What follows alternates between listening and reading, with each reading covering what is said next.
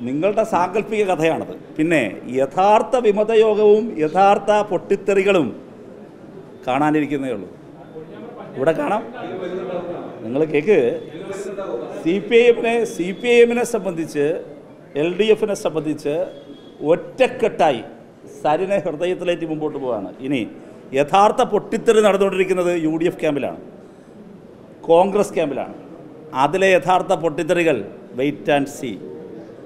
നിങ്ങൾ ഇതുവരെ റിപ്പോർട്ട് ചെയ്ത് മാത്രമല്ല.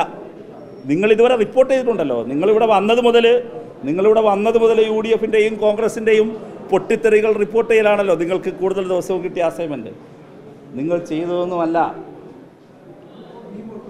വരാനിരിക്കുന്നതേ ഉള്ളൂ. Wait and see wait and see wait and see അത് ഞാൻ പറയല്ലേ അത്ര ആത്മവിശ്വാസത്തോട് പറയല്ലേ വെയിറ്റ് ആൻഡ് സി അതുകൊണ്ട് ഞങ്ങളുടെ ഇവിടെ എന്തൊക്കെയോ പൊട്ടുന്നു എന്നൊന്നും വെറുതെ നിങ്ങൾ എഴുതി നിൽക്കണ്ട. പൊട്ടിത്തെറിയെന്നൊക്കെ എഴുതിക്കോ? അത് എവിടെയാണ് പൊട്ടിത്തെറിയെന്ന് വരുന്ന മണിക്കൂറുകളിലൊക്കെ അറിയാം. ആ ഷാനിബിനെ സംബന്ധിച്ച് ഷാനിബ് ഉയർത്തിയ പ്രശ്നങ്ങൾ വളരെ പ്രസക്തമാണ്. അദ്ദേഹം ഉന്നയിച്ച കാര്യങ്ങൾ ഞങ്ങൾക്ക് യോജിപ്പുള്ള കാര്യങ്ങളാണ്. അദ്ദേഹം മുന്നോട്ട് വച്ചിരിക്കുന്ന നിലപാട് മതനിരപേക്ഷ ജനാധിപത്യ നിലപാടുകളാണ്. ഡി വൈ എഫ് ഐക്ക് അങ്ങേയറ്റം യോജിപ്പുണ്ട്. ഡി വൈ എഫ് വരണമോ വേണ്ടയോ എന്ന് തീരുമാനിക്കേണ്ടത് ശ്രീ എ കെ ഷാനിബാണ്. ഡിവൈഎഫ്ഐ അതിന്റെ വാതിൽ എപ്പോഴും തുറന്നിട്ടിരിക്കുകയാണ്. ആർക്കു വേണ്ടി?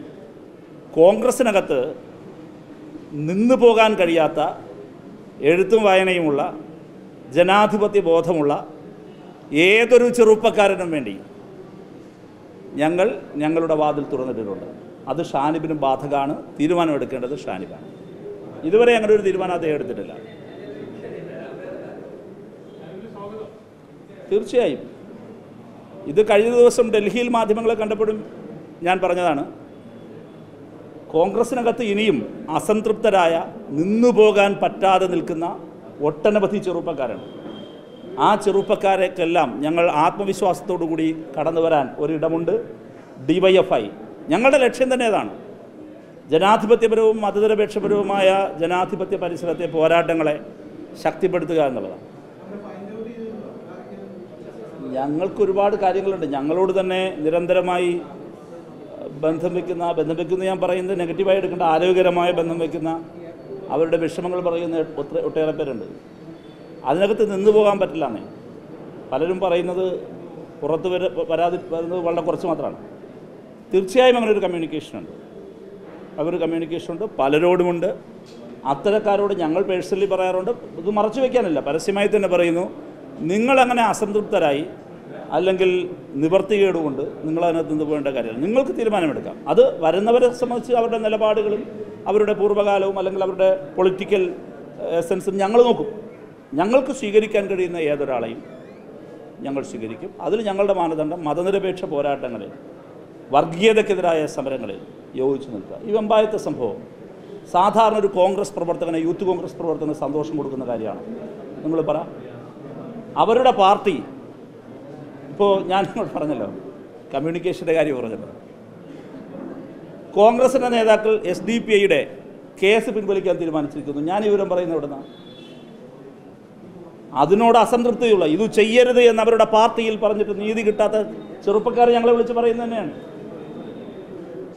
ധാരണയാവല്ലേ?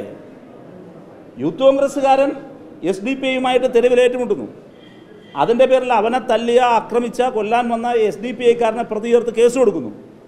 നേതൃത്വം വിളിച്ചിട്ട് ആ ചെറുപ്പക്കാരോട് പറയുകയാണ് ഈ കേസ് നിങ്ങൾ സെറ്റിൽ ചെയ്യണം. അതിനോട് ആ ചെറുപ്പക്കാർക്ക് യോജിപ്പ് കാണുമോ? അവർ തന്നെയാണ് ഞങ്ങളോട് പറഞ്ഞത് ഏതൊക്കെ കേസുകൾ? ഹൈക്കോടതിയിൽ ഏത് അഭിഭാഷകന്റെ മുമ്പിൽ വെച്ചത് ഒപ്പിട്ടു? നിവർത്തികേട് കൊണ്ട് പറയുകയാണ്. അവരാണ് ഞങ്ങളുടെ വിവരം പറയുന്നത്. അങ്ങനെയുള്ളവരോട് ഞങ്ങൾ വ്യക്തിപരമായും പറയുന്നു ഓപ്പണായി പറയുന്നു.